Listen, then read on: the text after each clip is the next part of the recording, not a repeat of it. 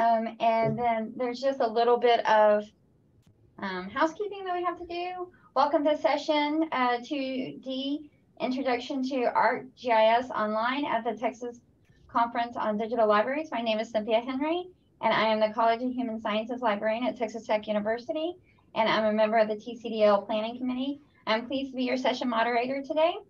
Um, a little bit of housekeeping we have to do is uh, Texas Digital Libraries and the TCDL Planning Committee are dedicated to providing an experience for everyone that is free from all forms of harassment and inclusive of all people.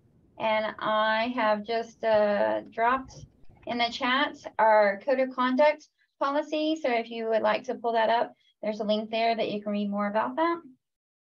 The session will run until just about 4.30. Please feel free to take breaks as you need to. And I invite you to drop any questions in the chat and I will try to help those uh, questions be answered at the end at our Q&A. We have three speakers this afternoon. I'm pleased to introduce our speakers who are Michael Shensky, who is the GIS and Geospatial Data Coordinator at the University of Texas at Austin. Sylvia Jones, who is our Science and Engineering Librarian at uh, Southern Methodist University. And then Kate McNally Carter, who is a research and instruction library librarian at the University of Houston Clear Lake. Okay, Kate. Okay, I think, yeah, Michael, did you want to uh, get, get us started? Oh, sorry. Yeah.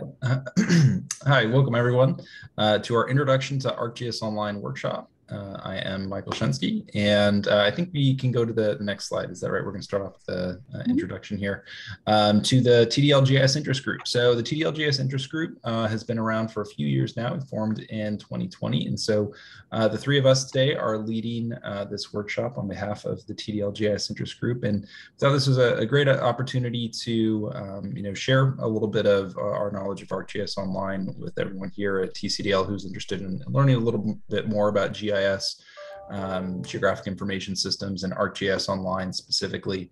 So we're, we're really glad to be here today. And uh, hopefully, if you're interested in the material that we're covering um, and, and, find um, you know, uh, this workshop about ArcGIS Online useful, um, you know, we, would love to encourage you to sign up for our uh, TDLGIS Interest Group mailing list, um, which you can access at the link right there. And, we'll post a link to that um, in the chat in just a second and um, oh, and it's already there.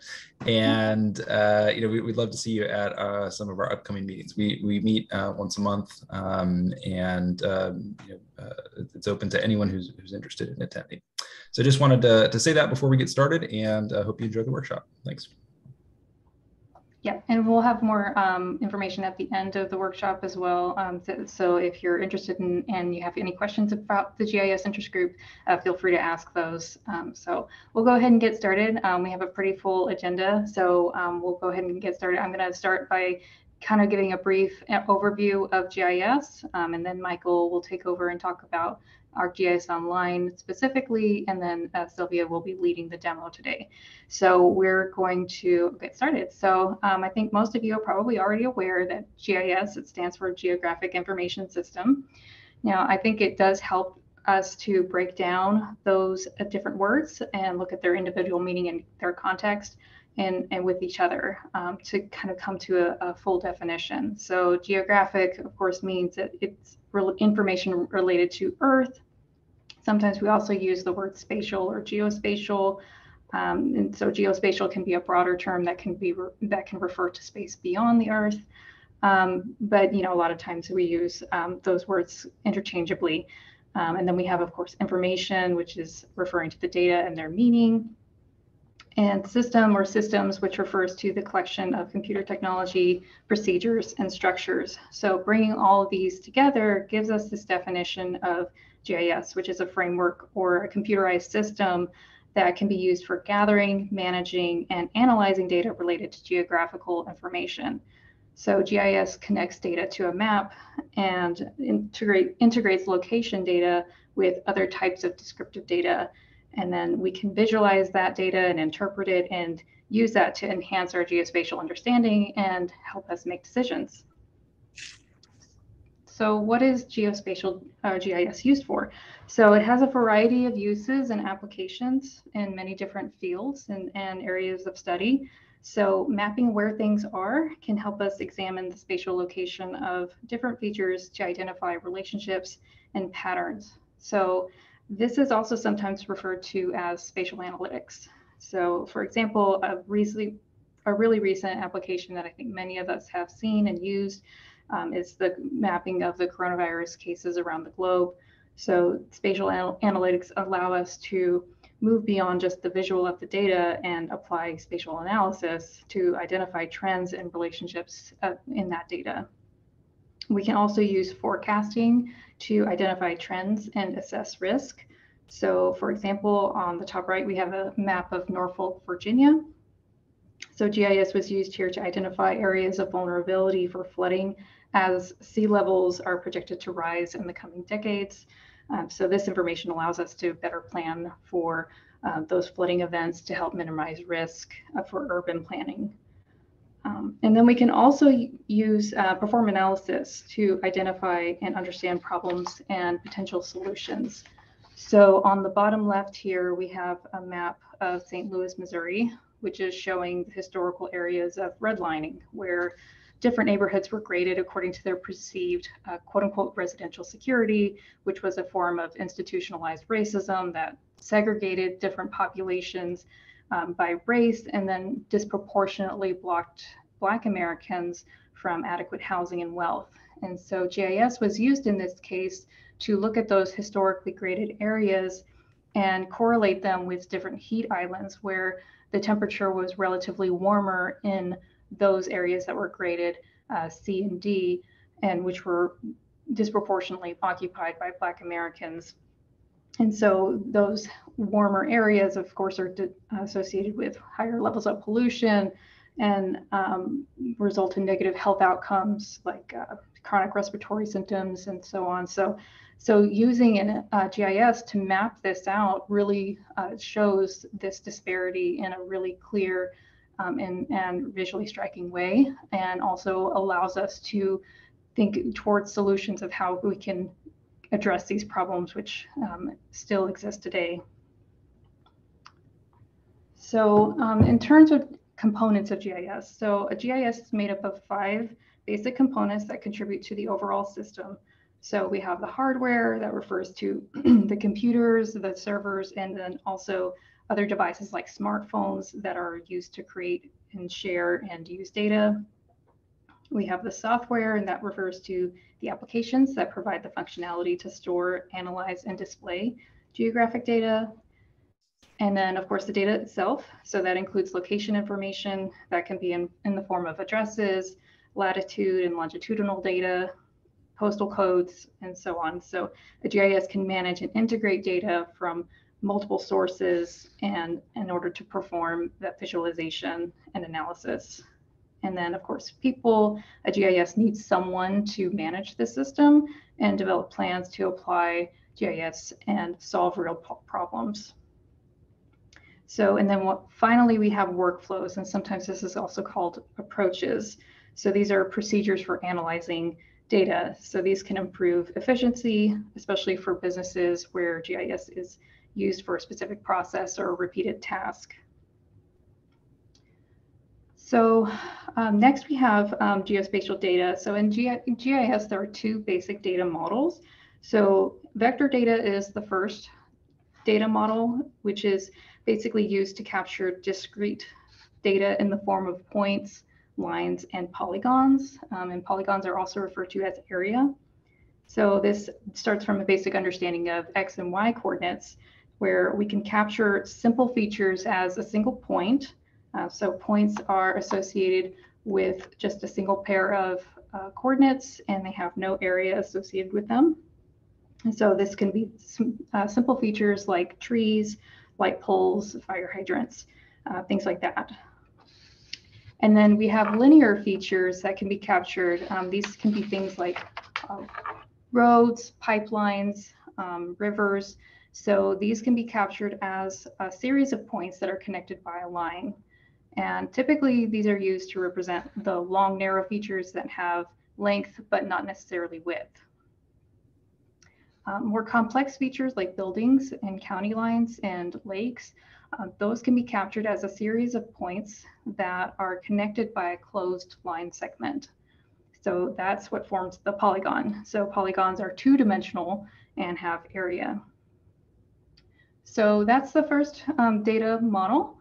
Um, the second one is raster data. So raster data in this data model, um, data are stored and viewed as a grid of cells where each cell has a value that represents that feature being observed.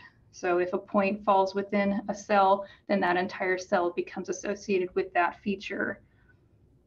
So similar to um, so, so similar to vector data, we have points represented here as well as lines and also um, area associated with the enclosed po polygon. So vectors are useful for capturing discrete data sets, whereas raster data can capture continuous data sets where uh, we have more ambiguous boundaries. So vector data also um, can uh, store multiple attributes of, of, a feature, and um, whereas raster data can only capture one data um, data feature. So in layers and GIS data types, um, a GIS basically combines multiple layers of data so that we can visualize it on a map and then perform analysis. So this image here from Esri uh, kind of shows you how those layers come together. So the top three layers represent vector data. So these are those discrete data points, um, lines, and or polygons that represent different features from that map or the area of interest on that map. So for example, the first data feature can represent things like boundary lines or county lines. Um, the second layer could be uh, streets, and then the third could be something like building units. Uh, the next two layers underneath that represent raster data. Uh, so these are data that are measured in intervals rather than discrete or hard boundaries. So these layers can represent things like land usage or elevation, uh, soil pH, so different things that are measured in intervals where um, and, and, not discrete units. Um, and then the bottom layer, of course, is the real world, basically what the data is trying to represent. So, and then on the right, we have some different um, data types that can be incorporated in a GIS. So the first four uh, represent vector data. So um, we have um, addresses on a spreadsheet, and um, then we also have points, lines, and polygons. Um, then the bottom three represent raster data. So these can be things like scan to map images, aerial imagery, and then LiDAR data. So um, real quickly, um, before I wrap up um, and hand it over to Michael, I just want to briefly um, talk a, a, little bit about GIS software and applications. Um, so there's a lot of different uh, applications that can be used um, and GIS can be used for a lot of different types of geospatial data management tasks. So GIS can be used to store geospatial data, convert it from uh, different data formats, and then it can also be used for processing of geospatial data and analysis and visualization, and then of course uh, dissemination, which is a really important important part of GIS is, sharing your results. And so depending on what application you're using, there are going to be different capabilities for uh, sharing and then um, doing all these different tasks. So along these lines, I just want to briefly touch on some commonly used GIS applications before turning it over to Michael. So uh, QGIS is a free open source version um, option that is very commonly used around the world um, and also in academic capacities. So one of the great features of it is that it is extensible with plugins and that can be um, helpful to perform additional tasks um, like georeferencing and geocoding, um, it's also pretty widely accessible because of its open source format and also the availability on multiple platforms. Um, so ArcGIS Pro um, and, and, ArcGIS Online in contrast are developed by Esri, so they are not open source, um, but they are widely considered the industry standard for GIS software and um, they're typically used in a lot of corporate and government um, entities. So they are expensive to purchase, Um, ArcGIS Pro is the desktop version of the software, and this integrates with ArcGIS Online, um, which is the cloud-based or the browser-based version of the, of the software. So an ArcGIS Online is particularly useful for its capacity to uh, uh, facilitate collaboration and uh, facilitate sharing of mapping projects, which is um, also a really nice feature of it. And it's also very user-friendly. Um, it's a user-friendly platform, especially for beginning users of GIS.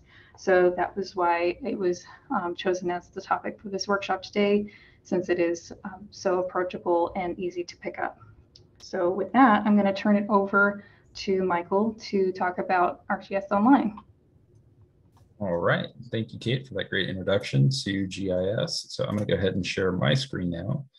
And we will pick back up with our slides. And we'll start off by um, diving a little bit deeper into ArcGIS Online. So let me uh, put that in slideshow mode. So I'm going to talk a little bit more about ArcGIS Online here um, and uh, get us ready for a, a, demo of ArcGIS Online that, that Sylvia will be leading us through um, in a little bit. But first, I want to give some background and context um, describing uh, you know, why ArcGIS Online is something that's useful for us to gain some experience with, and also talking about um, you know, some of the, the things that we can do with ArcGIS Online, some of the things that we need to consider as we maybe get started with this platform, um, you know, things that, that we should be aware of so that we know how to create our accounts and, and make full use of them.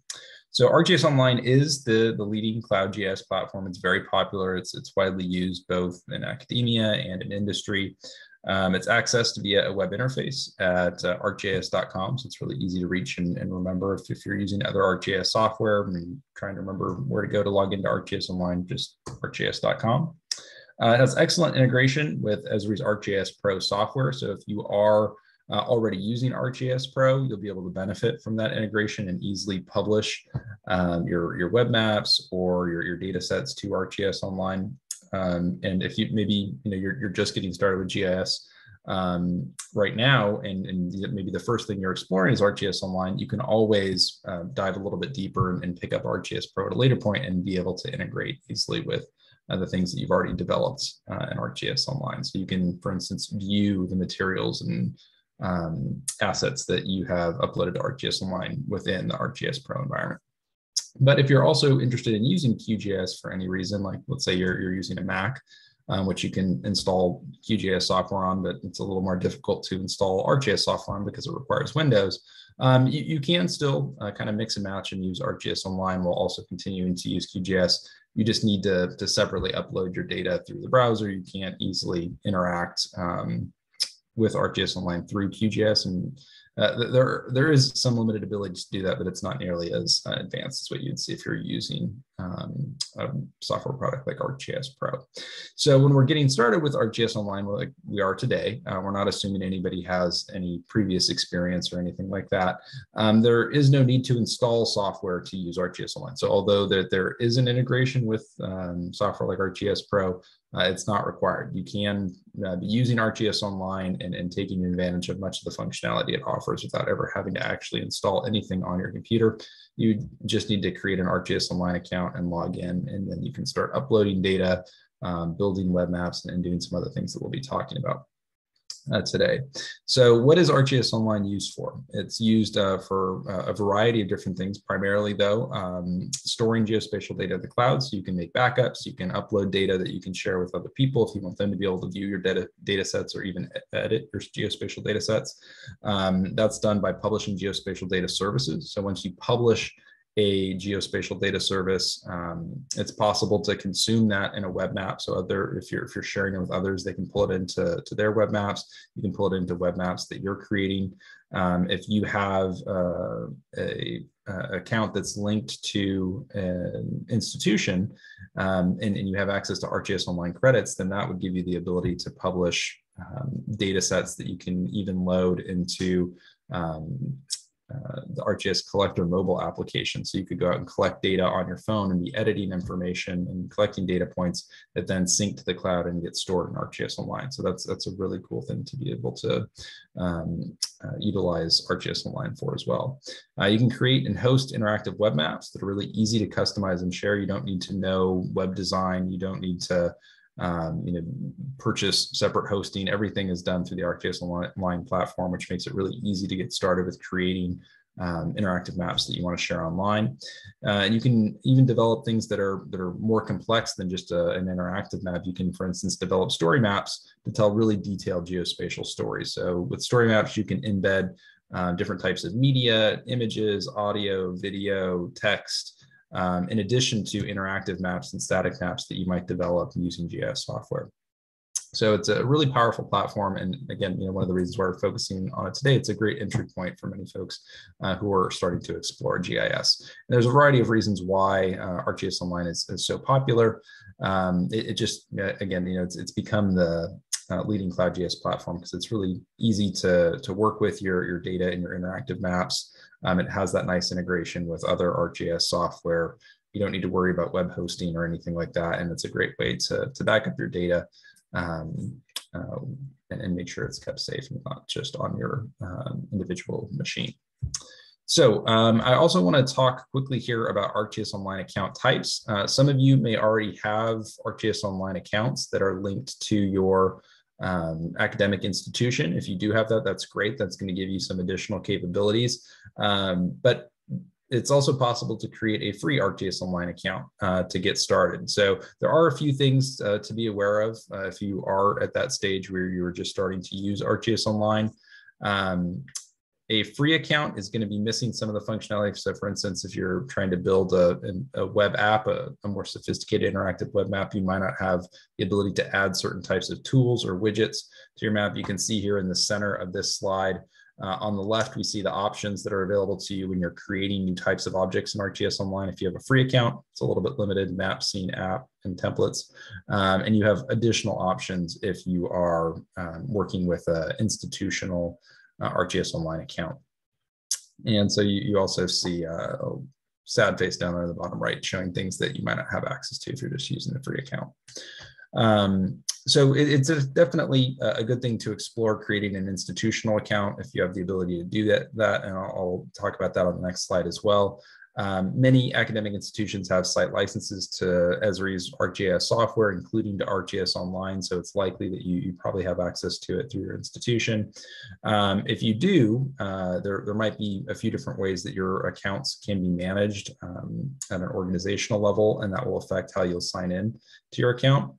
Um, and you also want to think carefully about that, that process of creating an institutionally linked account because once you create it, it is tied to your institution. So if you leave that institution for any reason, uh, you retire, you accept a job elsewhere, if you're a student and you graduate and you leave that institution, um, you will lose access to your account at some point after uh, that affiliation ends. So um, one of the things that uh, an institution can set up is called single sign-on integration, which means that um, most academic institutions are going to have a single sign-on system that allows you to use the same set of credentials to uh, sign in to different portions of your uh, university website. So maybe you're accessing library services, you're logging into your email, um, you're logging in to register for courses or to, to make payments.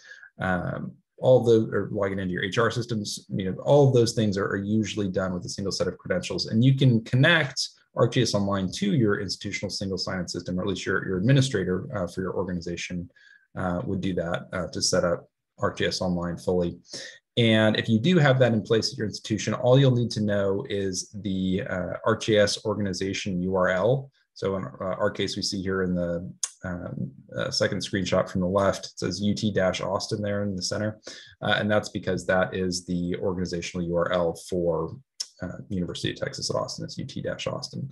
So if you're at uh, a different university, you would just need to know what that um, string of text is that uh, your university is using. Once you type that in and click continue, it will take you to a page where you confirm that it, you know, you've successfully entered in your university's uh, unique URL. So in this case, uh, there under enterprise login, we see a blue button that says University of Texas at Austin. That confirms that I did type in uh, the right URL. So I click that blue button And then at that point, whoops, uh, it would direct me to our UT Austin single sign-in um, page where uh, this is the same uh, page I'd be presented with if I wanted to log in to check my email or um, check out a library book or something like that. And so uh, you would just enter your regular credentials there, and then you would uh, be logged into your ArcGIS Online account. And even if you didn't have an existing ArcGIS Online account, this would create one automatically for you. The first time you log in, your account gets created.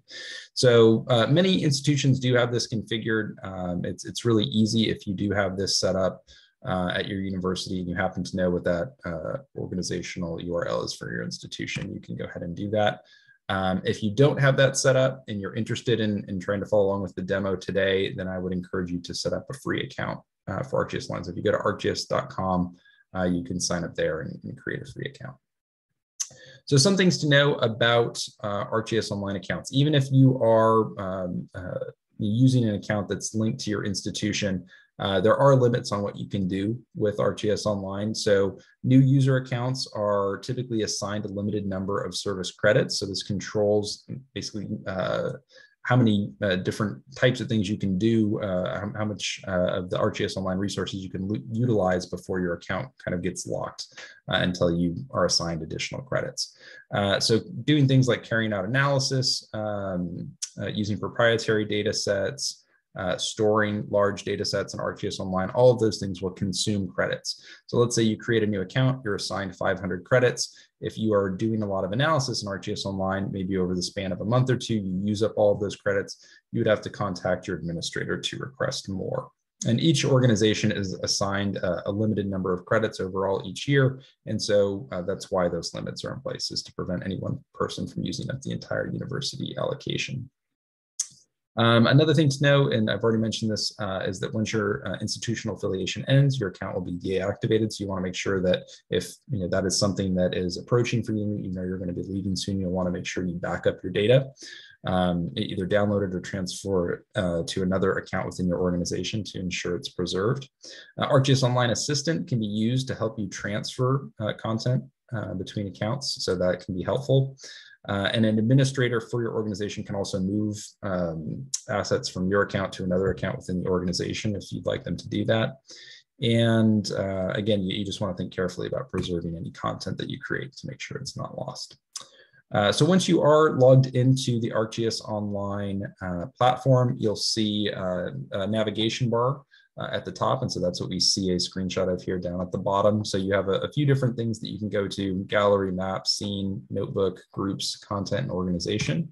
So I'm gonna quickly um, uh, summarize uh, the, the, key things to know here when you are um, uh, using the, the ArcGIS Online um, interface. So again, you want to be thinking carefully about your ArcGIS Online credits and, and how the things you're doing within ArcGIS Online will consume those credits. So over here is a, a table that you can uh, pull up online if you search ArcGIS Online service credits.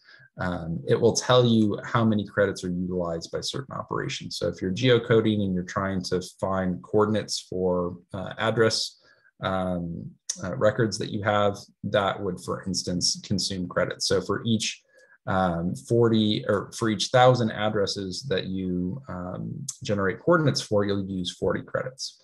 So if you were assigned uh, 400 credits when you created your account, then that means that you could geocode 10,000 addresses before you run out. Um, and you also want to think about um, uh, potential limitations that you have on what you can do with ArcGIS Online um, that, that maybe your administrator has control over. So when your account is initially created, you'll be assigned a default role. And that default role maybe doesn't necessarily have access to everything that, that you could possibly do within ArcGIS Online. So if you find that you are not able to access the notebooks functionality or geocoding functionality you can't create a shared update group that allows you to collaborate with others and, and edit the same uh, uh, web maps or data sets within ArcGIS Online, you might want to contact your administrator to request that you be given additional privileges. So something um, that as you get more confident in the ArcGIS environment, if you recognize that there's something you're not able to do, um, it never hurts to reach out to your administrator and ask if, if that can be assigned to your account. Now, once you uh, get logged in, you have your account set up. Again, you know, it's good to be aware of, of, these limitations and what to do if there's additional functionality you're interested in. Um, you can start exploring the functionality of the platform. So one of the first things that folks will usually do is create and upload content. Uh, so this shows the, the process for doing that. If you log into the system and you click on the, the content, uh, button up at the top. You can then select new items and you can uh, drag things in. So if you have a, you know, files on your computer, like a zip shape file or a zip file to your database, uh, you can uh, drag that in and uh, it will automatically upload it to ArcGIS Online. It will be stored in your account. Um, if you want to uh, publish new things, you can also create a new item and create a, a new map. Um, you can um, uh, uh, create and upload many different um, things um, and, and, have a variety of different types of content within your um, account. And once you upload things it, it, or create new things within ArcGIS Online, it's not uncommon to want to share those with others that you might be working with, others in your unit or department, um, or maybe others will want to share things with you. And so uh, that sharing is done with groups. So you can create groups uh, that you can invite others to join and you can join uh, other groups, uh, either through invitation or maybe there are open groups that, that you have the, the freedom to join within your uh, ArcGIS Online organization. And so over there on the right, we see the process for creating a new group and some of the, the settings that you have control over. So um, it's always good to, to visit the documentation too to learn more about um, you know, how to set those things up so you understand all of the parameters when you are, for instance, creating a new group. All right, so once you have uh, some content created, um, maybe you've uploaded some data sets, you've created groups, you're interested in sharing new things, um, you know, one of the, the easy things for folks to get started with is creating a new map. Um, so you can create a new map and upload data. For instance, if you uh, have a shapefile on your computer, the one you've downloaded from uh, a GeoPortal online or a shapefile maybe you've created yourself, um, you can upload the zip version of that shapefile to ArcGIS Online and publish it as a data set as well, uh, publish it as a hosted feature layer, and then you can load that into a web map. And so that's what we see here in the top screenshot is a very simple map um, showing points that you can click on and see a pop-up that has information about those points. Um, you can turn a web map into something more complex by creating a web mapping application that uses an interactive web map as a foundation and then it allows you to set custom themes um, with different colors and different layouts and to add uh, special widgets and tools that provide additional functionality like the being the uh, functionality to search uh, or carry out custom searches for features uh, in your map or to filter features in the map and, and there's uh, a wide variety of different widgets that you can add. And you can also create story maps, which I mentioned uh, a little while ago, just very quickly. And this allows you to create um, almost like a presentation. Uh, it's a scrollable web page, basically, that allows you to embed different types of media, videos, audio, uh, pictures, text, and interactive maps and static maps. So a wide variety of things to help you tell a story on a particular topic or theme. And all of these are made really easy uh, for you to create within the ArcGIS Online environment without having to know any coding or web design. It's kind of just point and click. Um, with your ArcGIS Online hosted layers, uh, this is uh, you know, what we would refer to uh, um, our, our, published data as. If you're publishing a data set to ArcGIS Online, um, uh, it gets saved as a, a hosted layer. So this is different than just making a, a, copy of the data to ArcGIS Online. If you do make a copy of the data, for instance, if you upload a zip shapefile, it will ask you if you want to publish that um, as a, a, hosted layer. And that's, that's a, you can do both things at the same time, but it's not necessarily done by default. So you want to keep in mind there is a distinction there. Um, and uh, if you just upload a layer uh, or upload a, a, zip shape file, it's just a copy of the data that lives there that all you can do with it is download it. It's just a backup in ArcGIS Online. If you publish the data to ArcGIS Online, it means it can be loaded into uh, web maps. It can be consumed by others. You can make it editable so that people can add new points or delete points um, if you'd like them to be able to do that. So just important to, to recognize that distinction there. Um, and so this is, uh, you know, really powerful to be able to publish those data sets online, to share them and to allow collaborative editing.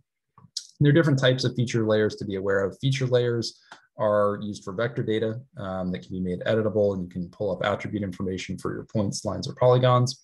Uh, scene layers are for 3D data. Tiled layers are for typically for image data but, uh, or vector data that you want to load really fast. If it's really complex information, you're not going to be uh, querying attribute information. And also there are imagery layers um, that you can use to uh, share raster data that um, allows for accessible attribute information where you can actually pull the information from the pixels in the raster. So here's a little bit more information about web maps. Again, this is the, the simplest type of map that you can create within ArcGIS Online. You do have some customizable options. So you can change, for instance, the, the symbology of the layers in your map to, to choose the colors or the, the shapes or the sizes of uh, features um, for communicating information. And this makes it really easy to um, share information with others and, and disseminate um, your, your data sets uh, through an interactive web map that you can share the URL to uh, with somebody who can view it online.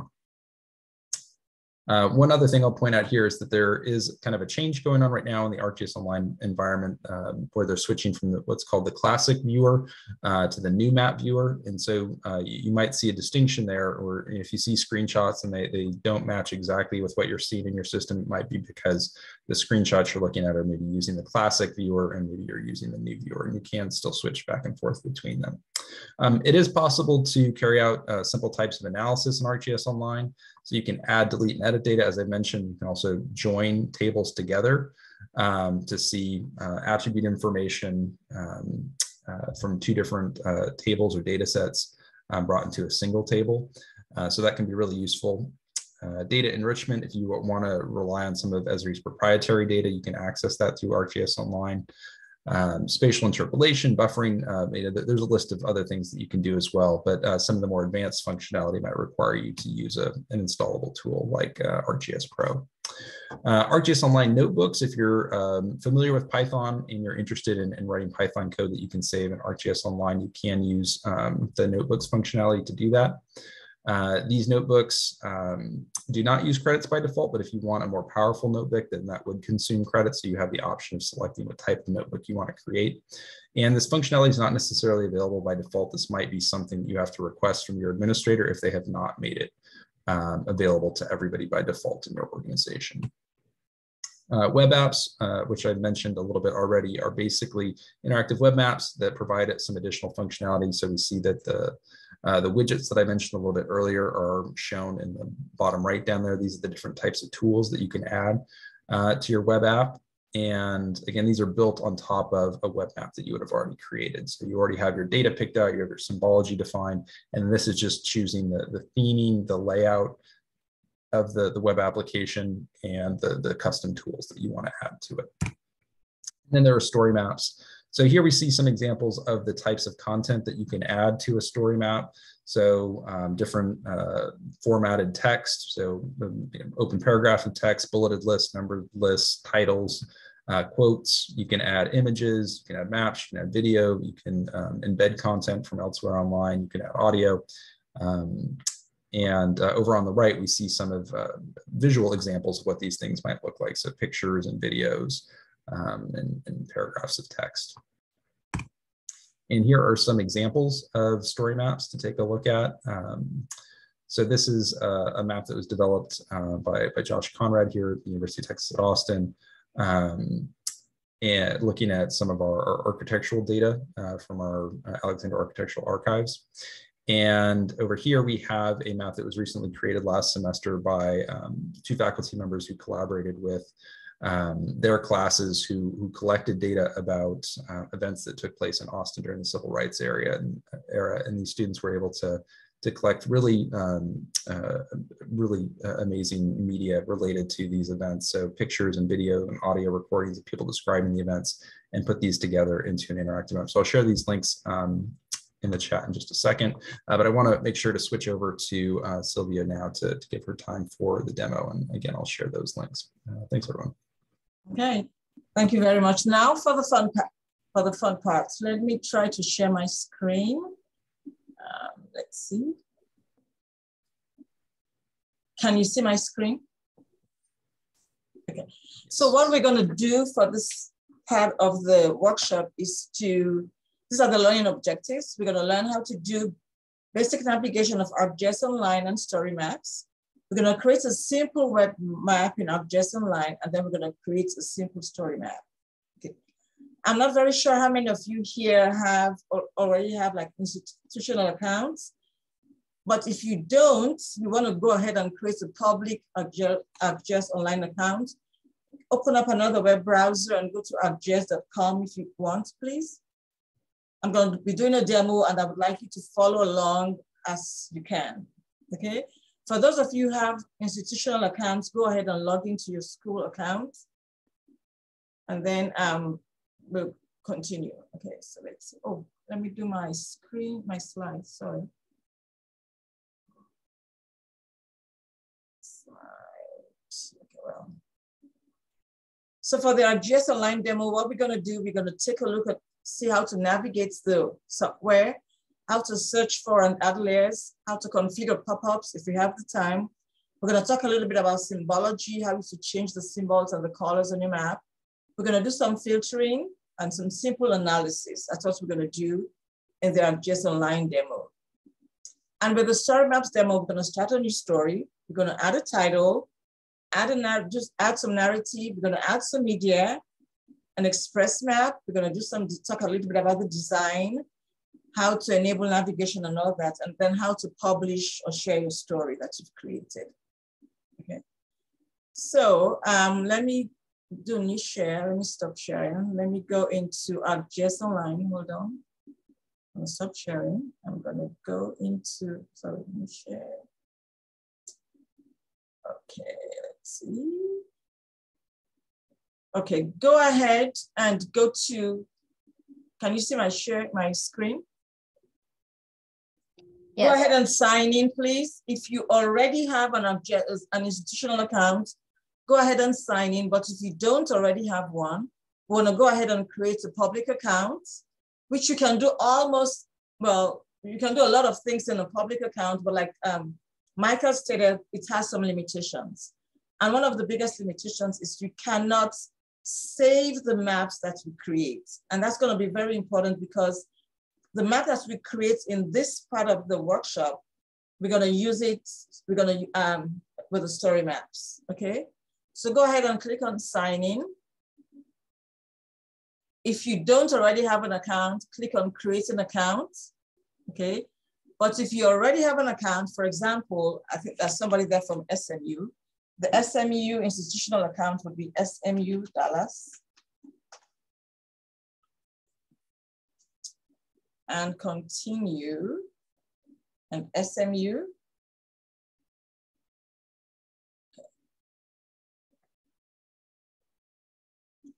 Your page is gonna be a little different from my page, okay? Because I have so many, so much stuff in there, okay? But it would open up to map. Let's see. I want to. Do you all have you all like created an account or signed in? Just let me know by show of hands. I don't want to go too fast. I want you all to be able to like um, follow up with me. Okay.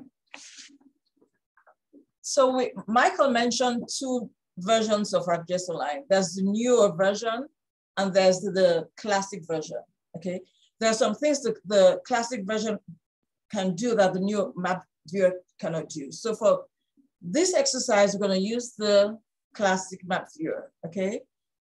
So go ahead, if you're, if you're in ArcGIS Online, and there's a link there that says opening classic view on the top right, go ahead and click on that, okay? And I'm gonna go ahead and click on new map. Okay, create new map. We'll do a very, very simple exercise. Let's take a look at what the screen looks like, okay? I'm gonna point out some important um, navigation tools right here. The add, the add link there is what you use to add content to your map, okay? You can search for a map, you can search for layers, you can add your own layer if you have already, you already have your own data in a file, but that's where you go to add layers to the map. The base map, every, every map has a base map, okay? It's a, it's a map that allows, uh, gives you some context to what the kind of information that you're gonna add to the map that you're gonna create. The analysis icon there would allow you to do different types of analysis. I'm gonna use some of those. On the right side there at the top, you can save the map. If you have an institutional account, you can save the map, you can share a map, you can print a map, and then this one, this link there for directions would give you directions from different to different points on the map, okay? That's, if you do the measure, click on measure, it would allow you to find the areas on the map. For example, if you click on, want to find the area of different parts of the map, you can click on, on this first icon. You can measure the distance from a map on the map, and you can also find out what the latitude and longitude on the map on the map is okay? And then the bookmarks icon that would allow you to bookmark a page or a map, place on a map that you can easily go to without having to search for anything, okay? Right here as a search box, we're gonna go in, okay, and then you're gonna use like in the middle of the screen right there, the plus and minus signs are what you use to zoom in and out of the map, okay? And then the little icon in the middle is the home, is the default extent you can use it to go back to the original um, extent of the map that was saved, all right? I'm gonna go back to my original extent, okay? And in here is the search box.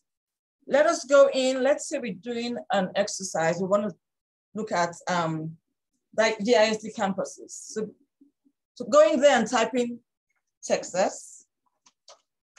Let's go type in Texas and then you're gonna do Texas, USA. The map is gonna go in and zoom in on to the state of Texas, okay? But there's nothing right here. We want to add some information to the map. The data that we use in our ArcGIS Online, the data in the map is um, expressed as in layers, okay? It's visualized as layers. So how do we add data to the map? Go to this um, button on the left top side, click on add, okay? We wanna, you can search for layers or you can add layers from different places. If you had your own data set that you had collected somewhere, you could click on add layer from file, which we're not gonna do, okay? Or you can go online and find different geospatial layers and you can add them to your map, but we're not gonna do that. Or you can browse the Living Atlas, which is a curated set of um, layers or geospatial information that's been curated by um, Esri, but we're not gonna do that either. You're gonna click on search for layers. Okay. Our exercise today, go ahead and type in DISD campuses. Okay. If you take a look right here, I have on the screen my content. If I wanted to search information that I had saved into ArcGIS Online, I would go there to click on my content and find data from what I had saved, but I'm not gonna do that, okay? So go ahead and type in the, the campuses and click on search. Okay, and we wanna scroll down. Oops, I'm sorry, I'm, I do not wanna do my content. I wanna do ArcGIS Online. DISD campuses, we're gonna scroll down. These are all different layers that different people had saved in ArcGIS Online we want to scroll down and find a layer that's by um, Mont Martin, Martinson. Let me see if I can type in the name in the chat. Want to find a layer by Mont. Let's see. Okay, if you can see what I typed in, we're gonna scroll through and find a layer. Let's see.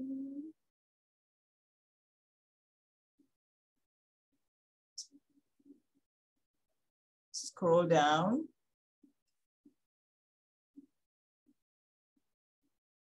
Okay.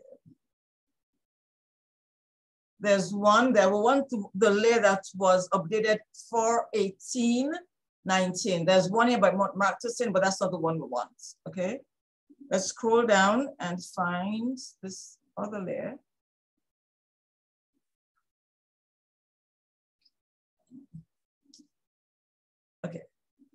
This one. It says DISD campuses by Mont Martinson 19. It was updated for 18, 19, okay?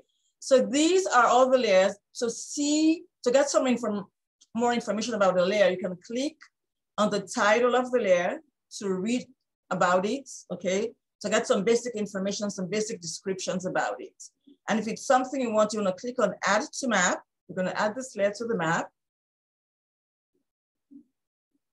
Okay, and there on the right side on the map, you see all these little dots, okay? We're gonna go in and add another layer. So go back and um, X out of this DSD campuses or erase that. We're gonna type in Dallas hospitals as well. Okay. So it came back showing off 37 layers. This time we wanna use the very first layer that's by Dallas Public underscore Dallas GIS. We're gonna add this also to the map. Use the plus sign to add it to the map. Okay. All right, so right, if you look at the map now, we have two different features. We have the Dallas hospitals and then we have the DSD campuses. Close out, X out, and then go back, use the arrow. We're gonna go back, okay? Under, you see the link that's to content. We're gonna take a look at the layers that we have on the map. Click on content, okay? And right here, you see the two different layers that we just added to the map. Like we said, data in ArcGIS is visualized as um, layers on a map, okay? So there are some diff icons beneath the titles of different of the different layers, okay? The first one would be the, um, the, the index, the, the, sorry, the legend, okay? The other one is the attributes layer, which is where the data that is visualized on the map is, is found. So if you go ahead and click on this table, click on show table, under hospitals, at the bottom of your screen here, you see all the information that's included in the table, okay? We have the name of the hospitals, the address, the website, etc. So it's all of this information that's visualized on the map, all right? Go ahead and close X out of the um, table, the attribute table. And then you have the third icon, which is change style, which is what you use when you want to work on the symbology. And then you have the other icon, which is the filter. We're gonna use this one. We're gonna use, the next one is the cluster points. We're not gonna do anything with it. And then the third icon is the one for to perform analysis. We're gonna work with that later on. Then you have three dots right here, which give you more information, okay? You can zoom to a section on the map. You can change the transparency. You can move a, fill, a layer up and down. You can copy a layer. You can do different things, okay? Using these other options that you have on the under the, um, the title of the layer, okay? So what we're gonna do right now, we're gonna copy a layer because what the exercises we want to just filter out, we want to look at just the high schools in the, that, that part of the, um, the DISD school district, okay? So go to DISD campuses again, all right? On the three dots right there. If I'm going too fast, let me know and I'll try to slow down, okay? Click on the three dots and click on copy. Okay, copy. So we just copied that layer, okay? Right now you should have three different layers that are checked on your on your map. Okay, we have the DSD campuses, the copy, then we have the hospitals, and then we have the DSD campuses, the original one.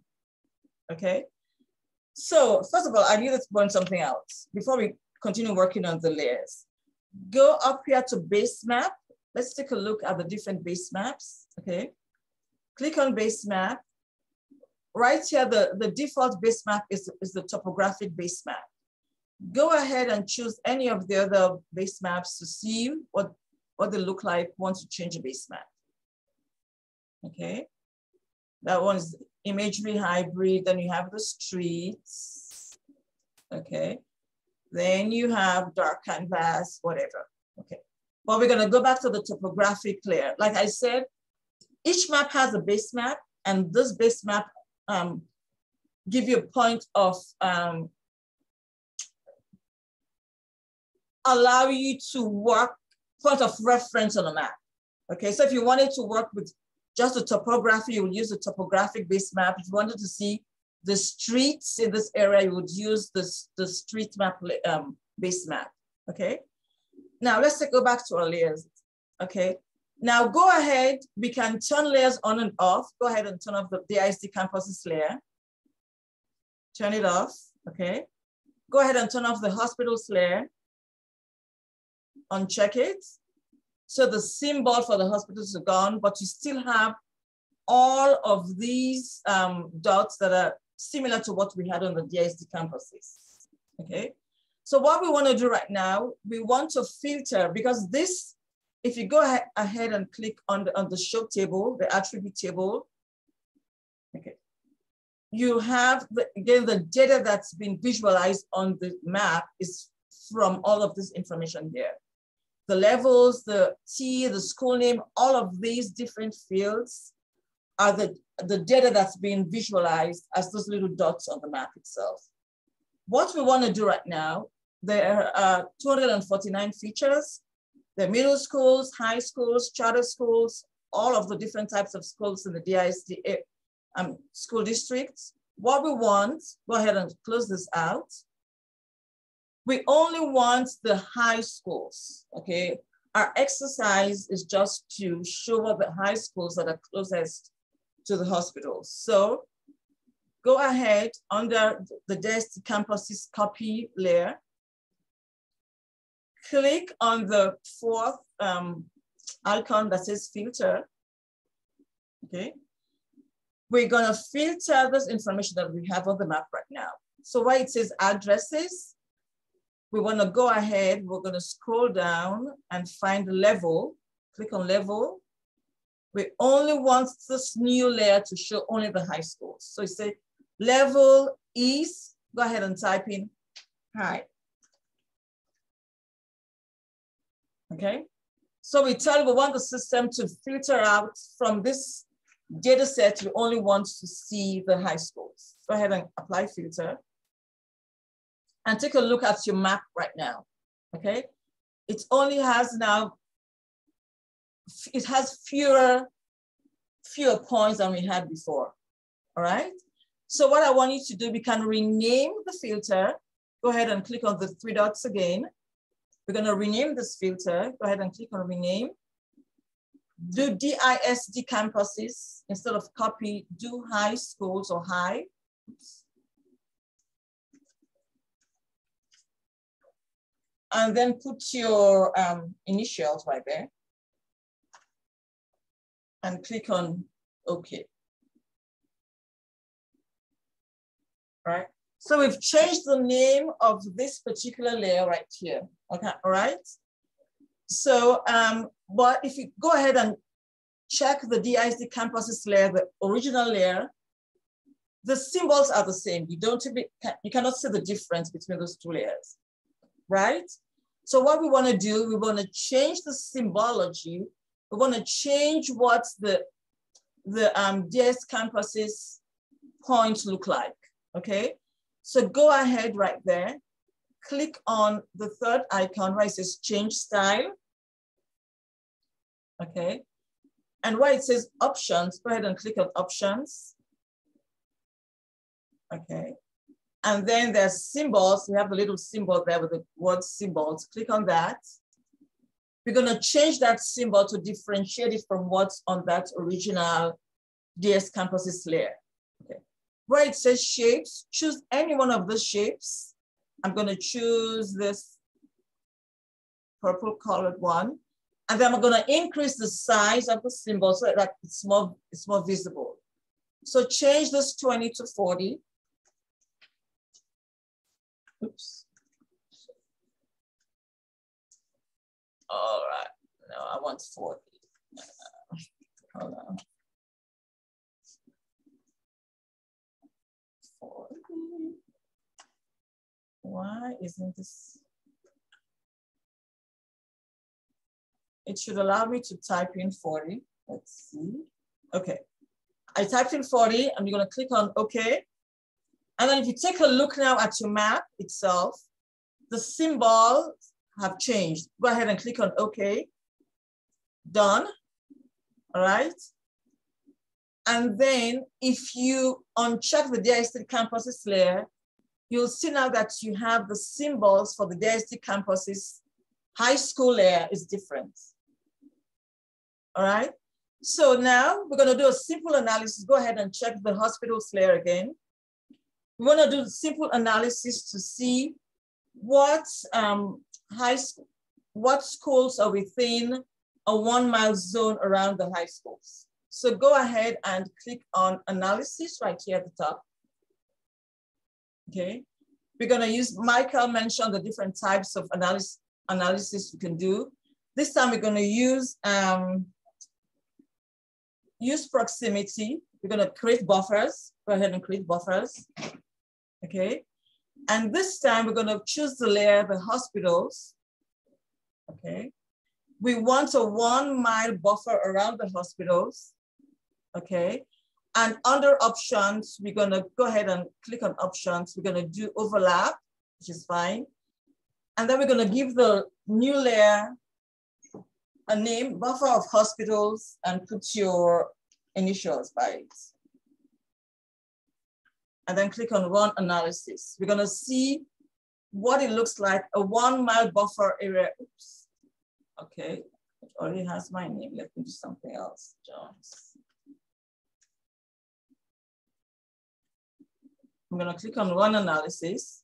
So what we wanna do, we just wanna see what it looks like, a one mile buffer around the hospitals.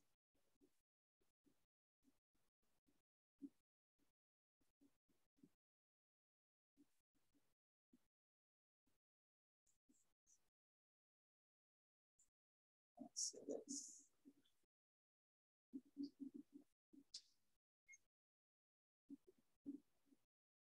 It shouldn't take that long. Oh, I think I know what I did.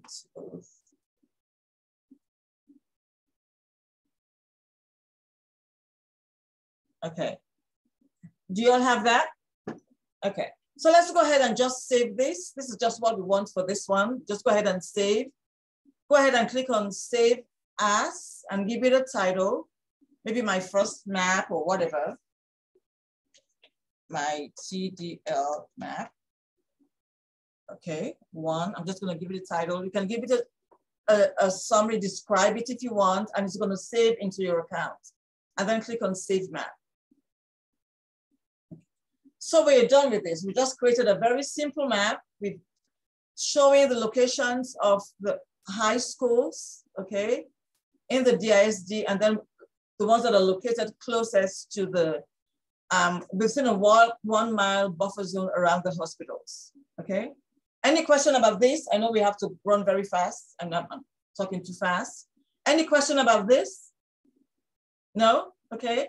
So now what we're gonna do, okay, I'm gonna go ahead and go back to, oops, let's see. I'm gonna go, go to home. I'm gonna go to home.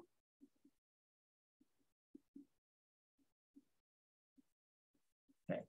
And right on the right side of my screen where my name is, there are all these little dots. I'm gonna go ahead and click on the dots. I'm gonna click on story maps. Now we're moving on from the ArcGIS Online session to the story map session. And I'm sorry, it's kind of rushed, but we, we're like limited in time, okay? Um, Michael explained what story maps are. They used to create stories. And this time we're gonna do a very simple map. Click on a new story. Okay, and we're gonna start from scratch. Okay.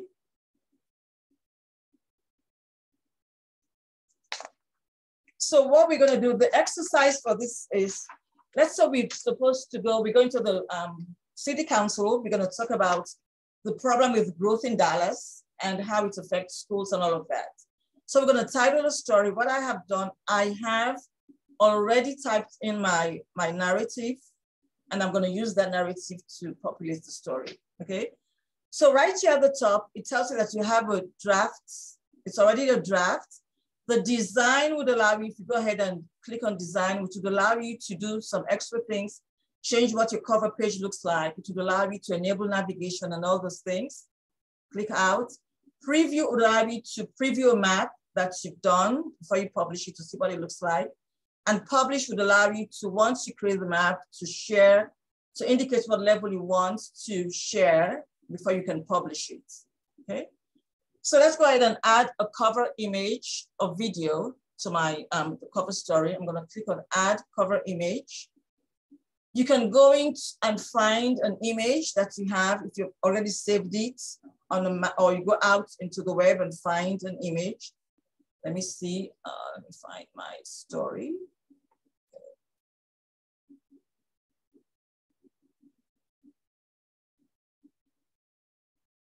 Okay, I have this. I'm gonna copy hyperlink. You can upload a file. Okay, and add it. Okay, that's my covers, that's my cover page for my map. And then I'm gonna title my story. It's called The Problem with Growth in Dallas.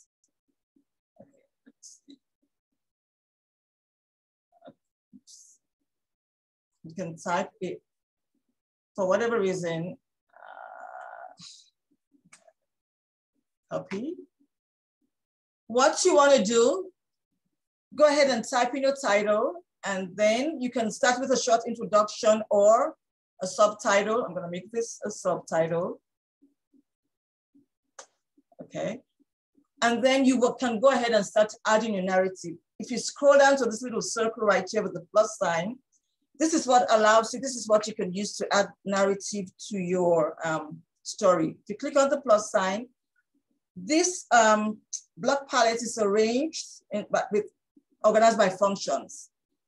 What you can use the te different text formats, what you can use to add the multimedia options, and then at the bottom you have the different types of story maps that you can create, okay? So if I wanna go ahead and start adding my text, I can click on add text. And if I want a new paragraph, I'm gonna click on paragraph, I'm gonna make a heading, go in and type, um, my first paragraph will be the city, go in and type the city. It's very simple, okay? And then now I wanna continue adding my text, go back to the plus sign, go to text, and I'm gonna add um, a paragraph or any other narrative that I want. Let me go back. Let's see, copy.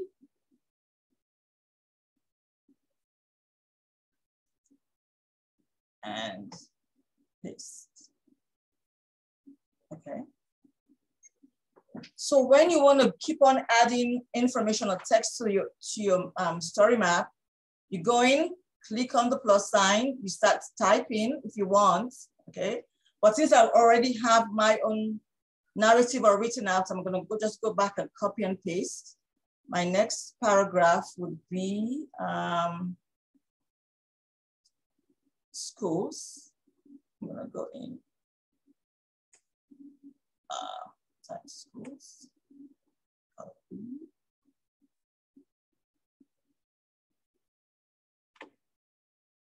Oh, come on. My computer is acting very funny right now. Sorry about that. I don't know. I'm just type schools. Okay. So I'm gonna go in and add my narrative. Should I put, let me add, should I just type anything that you want? Okay. Uh, I'm gonna and add my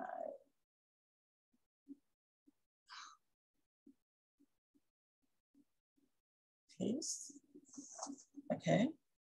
And let's say I want to add a map because it's a story map, okay? I'm gonna go in, let's say I wanted to add a map right when I was talking about the city of Dallas.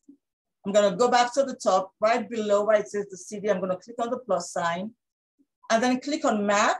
I'm gonna go ahead and find a map of Texas and add it to my map. Let me see if I can find it. Go ahead, copy.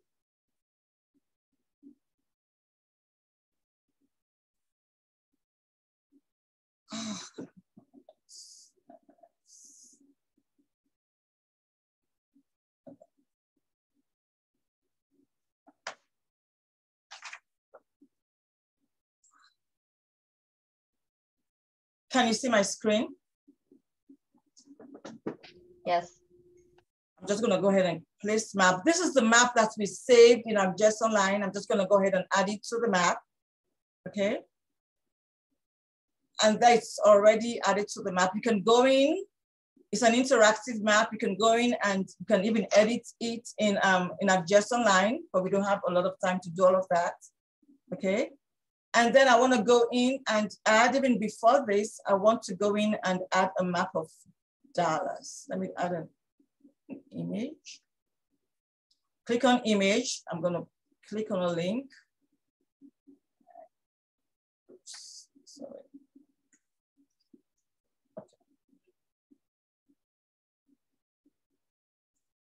Copy.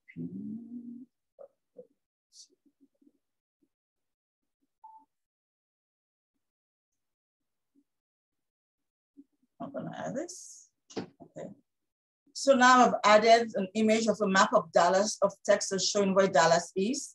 And here I have the map of um, that we just created in ArcGIS Online, okay? So you just wanna go in and continue adding text to your, um, to your story, okay? And if you wanna go in and add like a video, you can go back in, click on um, the plus sign, and then go in and add a video, okay? Let me go in and continue with my story. What else was here?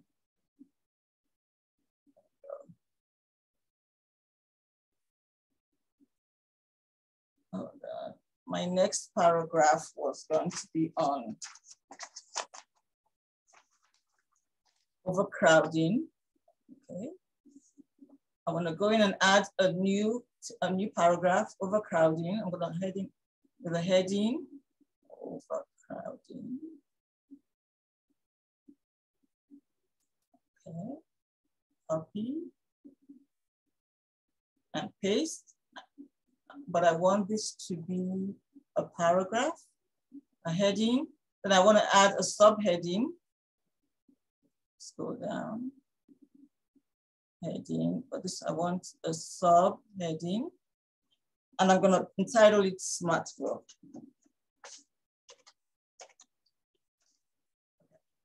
So for this map, I wanna go in and create and add an express map, which is another type of map, but this one it's easy, it's not, it's, you can, you can only save it in the story map, okay? You cannot save it in ArcGIS Online. So if you go ahead and click new express map, okay? It's just a quick, easy map that you can create. You go in and type search for Texas. Okay. And then maybe I want to find, let's say Dallas, rather than just Texas. Dallas, Dallas, Texas. Okay. And you can add it to a map. You can add um, arrows. You can add multiple points. These little icons here would allow you to add different points on your map. So if you click on this, you can add a point. Let's say I want to add this point here to represent Dallas, okay? And then if I want to add another city here, let's say Garland.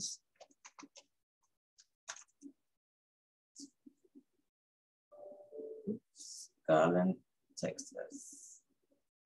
Okay. And I'm gonna add another point there to represent Dallas, Texas. Okay.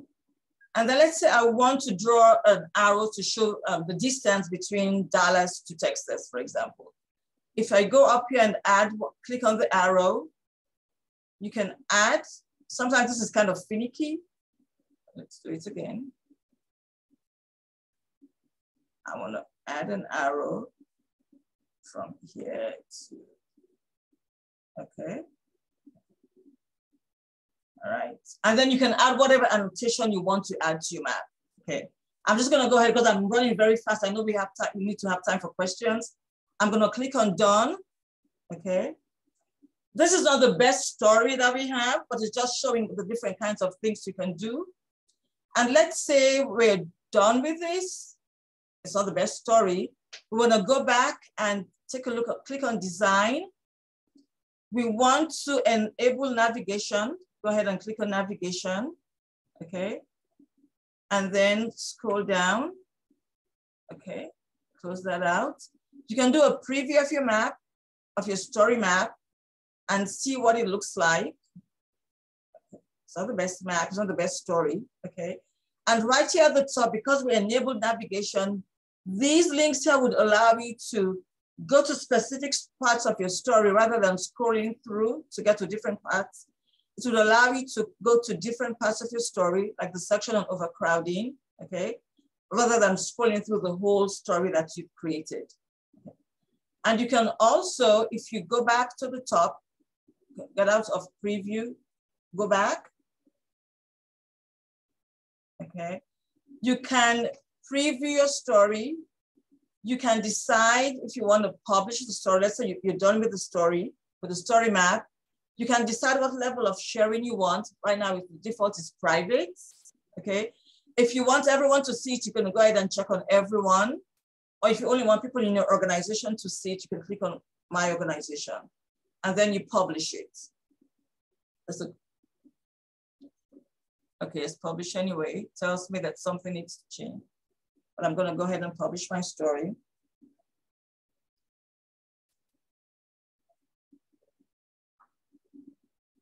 Okay, so this is just, again, I'm rushing through this whole thing because I know we need to leave time for questions. But do you have any questions there also? Let me get out of, any questions about what I've done so far? Any question? No. Okay, I'm gonna stop sharing for a minute and then I'm gonna go back to the um, PowerPoint slides. What is it now? Oh, can one of you share the slides again? I can't, let me see if I can find it. Let's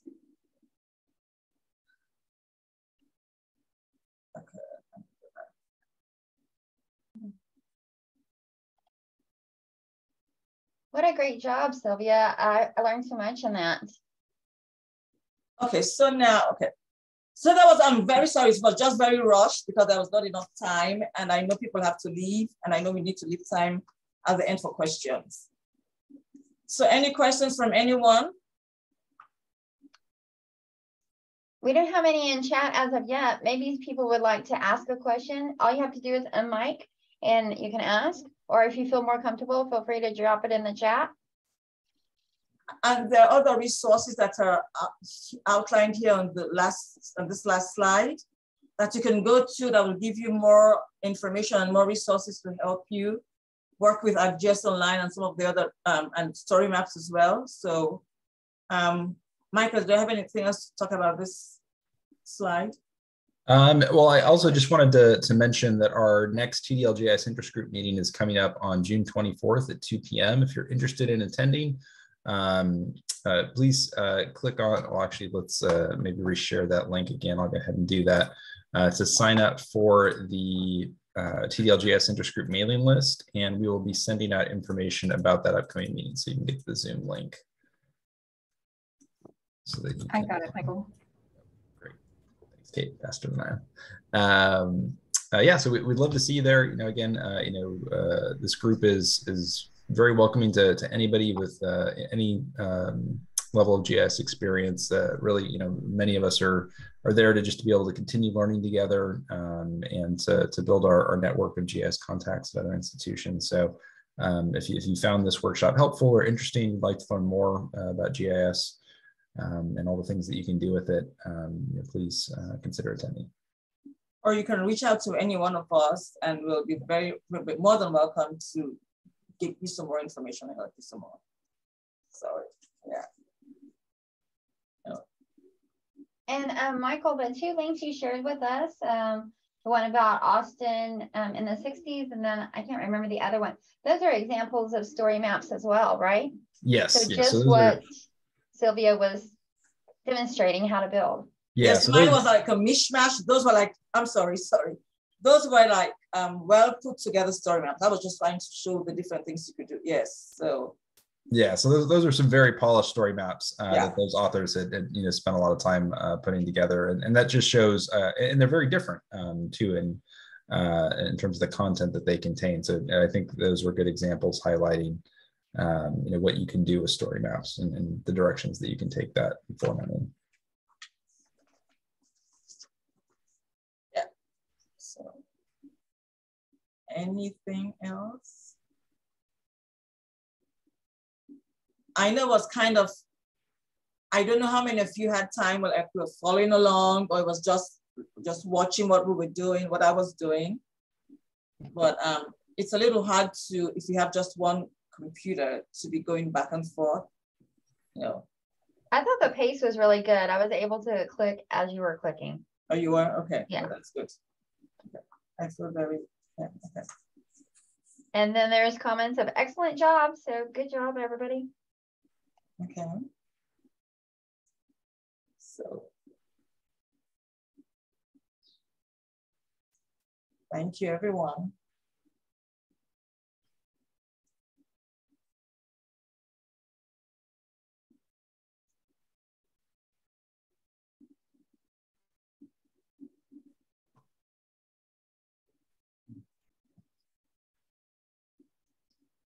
So do we know whether the people who were here had institutional accounts or do we not? I don't know, although I did open my institutional account. Okay. Yeah, I'm, I'm curious uh, for any of those that, that are here that don't mind, uh, you know, sharing either in chat or, or uh, unmuting. Um, you know, I, I, was wondering if folks were following along uh, using public accounts or institutional accounts, or if they were just observing that in the demo.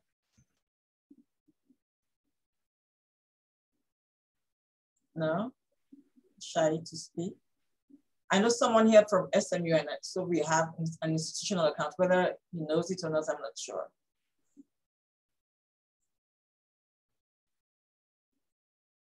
Any other person wants to share whether or not they have an institutional account? No?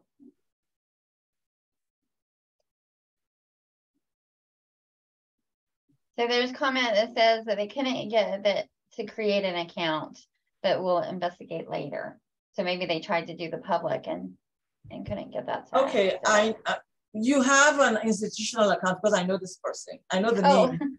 I know the name, so I'm, I'm guessing it's the same person I know.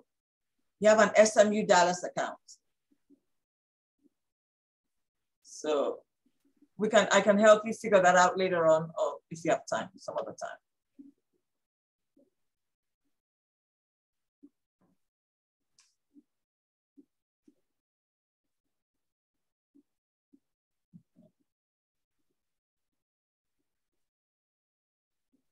Any questions from the rest of the participants?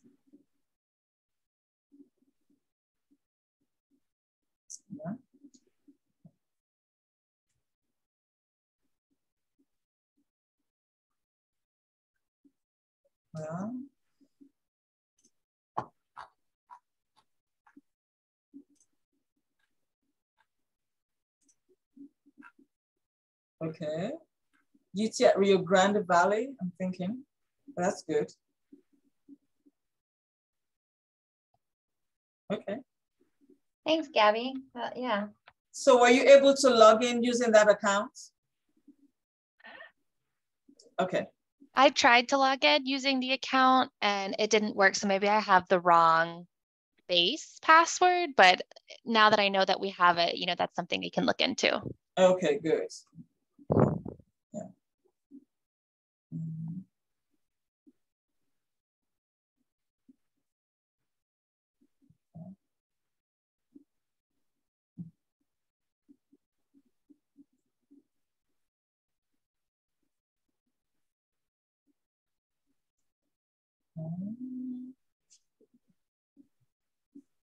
Well, as we wait, if we have any questions, I don't know if we will or not, but maybe we could um, uh, advertise again the mini sprint coming up from the GIS um, um, interest group, and it will be in August. Um, and if you follow the um, listserv there that we've asked you to sign up for, then you'll get some more information or come to the June 24th meeting too, and we'll see you there. So, Yeah, thanks for uh, bringing that up, uh, Cynthia. Yeah, I forgot to, to mention that. Um, but yeah, that'll be exciting. So uh, that's what August 9th and 10th. that's right. Mhm. Yeah. We're gonna have a little bit of time in the morning with a quick follow-up in the afternoon, looking at Python and GIS. Lots of good stuff there.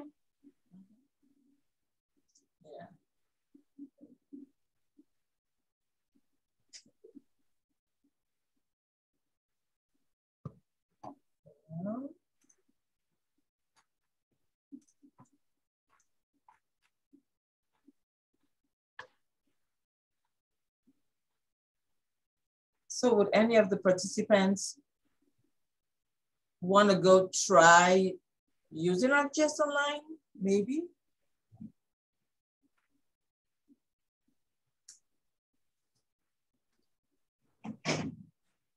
Okay, well.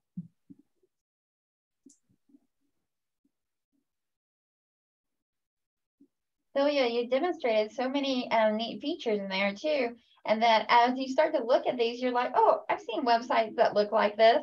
So I'm sure that they've been built in story maps.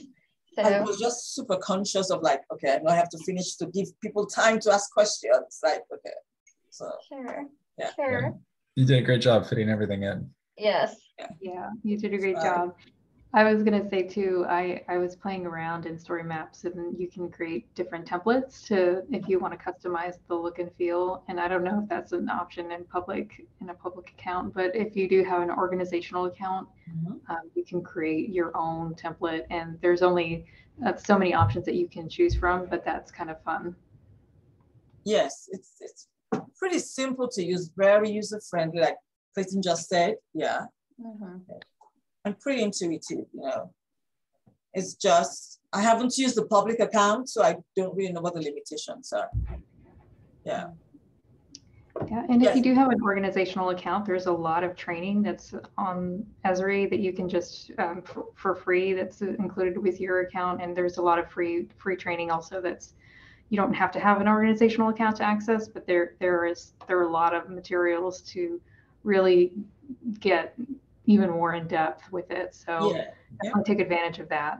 Yeah, and I know a number of people, a number of classes here are are encouraging the students to use story maps for presentations. So that's a, a great way, a great, so rather than PowerPoints, maybe you can try a story map for a presentation one day. So it has uses more than just beyond, you know, just um, doing something for GIS. I, I have a question. Is there a way or like, is there a repository or some sort where you can see like the things that are created by your institution? Yes. Um, if you go, well, I guess if you go into your school's account, no, let me see if I can go back into, let me see. For Yeah. example, if I, let me share my screen. I don't know, if, can I share my screen? You Yeah, should be be able to. Let's see, okay. Share, Mhm. can you see SMU? Okay, if you go, okay, if you go to organization, is that the one?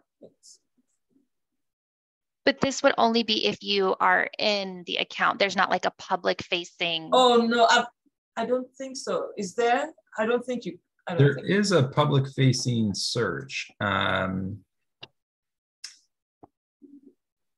but I don't know if it's possible to restrict to just materials that are available from a certain organization. Because like for now, I'm in my account. If I click on my organization, I should be able to see, or but you have to be signed in. What you're asking Okay. for the public facing search thing, yeah. So these would be like the story maps that other people at SMU have created. Interesting. Thank you for sharing. Yes, so let me stop sharing here. If I wanted to show my content, what I have created, I would just go to my content and show what I've done. Okay, so, but yeah. But I don't, Michael, what what um public facing? Oh, I, I just shared the link to the uh, public uh, Arch, ArcGIS online um, search interface. So there, if you type in a term like, let's say you you you, you want to find story maps about a particular topic, um, you could go Oh, there okay. and type in your search term. Um, so you know Texas, if you want to see story maps about Texas, you type in Texas. and then you can restrict to the type of um, uh, content that you're looking for. So you could uh, then under the, the faceting menu on the left-hand side, you can say, I only want to see story maps or I only want to see uh, web apps that Yeah. are um, about Texas. So you don't have to have an account to do this. No, yeah, you don't have to have an account really Okay. signed in. Um, so these are the things that are shared publicly. Okay. Well, we've come to four thirty, and so I just wanted to say again, thank you to our speakers. Y'all did a fantastic job. We learned some valuable skills from you, Sylvia, today. And I hope everybody joins us in our next meeting at our GIS interest group. Thank you. Thank Yep, you, everyone. Cynthia. Bye. Bye, thank you. Bye.